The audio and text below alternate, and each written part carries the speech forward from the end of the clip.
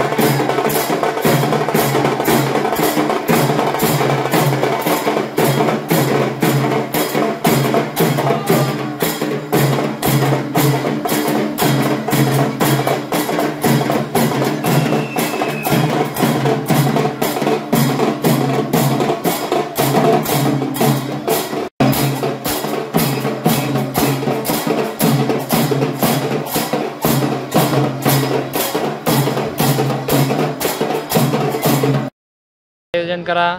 मुझे शिव बनने का सौभाग्य प्राप्त हुआ। मैं खुद को बहुत भाग्यशाली समझता हूँ। और ऐसे कार्यक्रम हर नगर में होना चाहिए जो अच्छा मतलब संदेश संदेश दे। शिव माया इच्छानुसार इस बार भी शिव यात्रा निकाली गई। इसकी शुरुआत हमारे पड़ोसी श्री मदन गुरु जी की पत्नी हमारी मामी जी द्वारा शुरू की गई थी। जिन्हें आज तक भी उनके पुत्र लाला भैया द्वारा चलाया जा रहा है, एवं प्रतिवर्षानुसार इस बार भी बहुत अत्यधिक भीड़ रही। सभी का बहुत बहुत धन्यवाद। पावन अवसर पर हमारी मातुल्य शांताबाई जोशी, है ना? शांताबाई जोशी जी द्वारा ये उन्नीसवा वर्ष है इसका। उन्नीसवें वर्ष से लगातार ये यात्रा उनके मार्गदर्शन में निकलती आ रही थी। अभी इस मार्गदर्शन का बीड़ा उनके पुत्र पवन शर्मा, लाला शर्मा ने उठाया है, जो कि बहुत ही सराहनीय कार्य है। इस कार्य के लिए मैं उनको बहुत बहुत धन्यवाद और साधुवाद देता हूँ और नगर की समस्त जनता को शिवरात्रि के इस पावन अवसर पर हार्दिक हार्दिक शुभकामनाएँ और बधाई।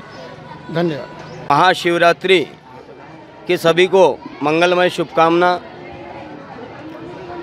जैसा कि आज सिद्धेश्वर महादेव पूरा बाज़ार बेटमा में उन्नीस वर्षों से अनवरत चल रहे भगवान शिव की बारात, जो मदन लाल जी शर्मा ने चालू की थी और उनके जाने के बाद उनकी पत्नी ने यथावत उसे बनाए रखा और अब उनके पुत्र उस कार्य को कर रहे हैं और बेटमा नगर में एक बहुत ही सुंदर आयोजन भगवान भोलेनाथ की बारात के रूप में निकलता है। करीब पाँच वर्षों से उस आयोजन में एक अनुष्ठान भी जोड़ा गया, जिसमें रुद्राभिषेक कई जोड़ों के साथ बेटमा नगर के प्रत्येक परिवार समरसता के भाव से, स्नेह के भाव से प्रत्येक परिवार के लोगों को आवाहित कर, उनको जोड़ों के रूप में बिठाकर भगवान शिव का दिव्य अनुष्ठान प्रारंभ हुआ। और यह अनुष्ठान सबके द्वारा पूर्ण करने के पश्चात भगवान की सवारी उनकी बारात नगर में भ्रमण की, जिसमें कई परिवार की महिलाओं ने, सामाजिक बंधुओं ने, प्रत्येक परिवार के मनुष्यों ने और हमारे इष्ट मित्र बंधुओं, जो भी इस आयोजन से जुड़े हुए सभी ने बढ़ चढ़ के हिस्सा लिया। पूरा बाज़ार, बेटमा, सिद्धेश्वर, महादेव समिति के सभी लोगों ने इस आयोजन को बहुत ही अच्छे और सुचारू रूप से पूर्ण किया। तथा इस आयोजन के पश्चात प्रसादी और इत्यादि का वितरण भी इस सिद्धेश्वर महादेव से होता है। आज का दिन जो है महाशिवरात्रि का दिन है, पर्व है और सभी श्रद्धालु प्रत्येक मंदिर पर जाकर दर्शन कर रहे हैं। प्रत्येक मंदिर पे हमने पुलिस व्यवस्था लगाई है। यातायात व्यवस्था भी बाधित ना हो इसलिए यातायात व्यवस्था के लिए भी हमने पुलिस बल लगाया है। सभी जगह पर्याप्त व्यवस्था है हमारी। आप देख रहे हैं हमारा channel S W twenty four news हमारे सारे वीडियो सबसे पहले देखने के लिए आप हमारे चैनल को सब्सक्राइब करें और पास में लगे बेल आइकन को दबाना बिल्कुल भी ना भूलें।